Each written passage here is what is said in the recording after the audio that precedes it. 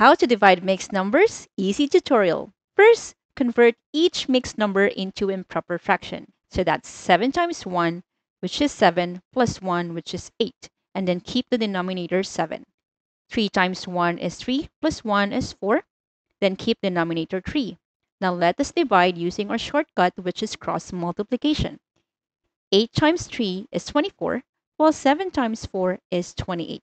Answer, 24 over 28. Next, 1 and 1 half divided by 1 and 1 fifth. Let's convert first each into improper fraction. 2 times 1 is 2, plus 1 is 3, then keep denominator 2. Next, 5 times 1 is 5, plus 1 is 6, then keep denominator 5. Now let's cross multiply. 3 times 5 is 15, while 2 times 6 is 12. Our answer, 15 over 12.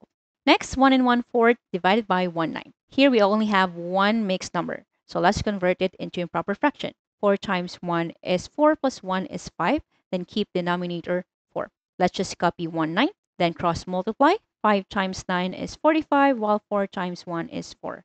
Answer 45 over 4. Here we can see that our answer can still be simplified to its lowest term. Comment for 2 if you want to know its simplified form. But for now, it's your turn. What is 2 and 5 6 divided by 1 9?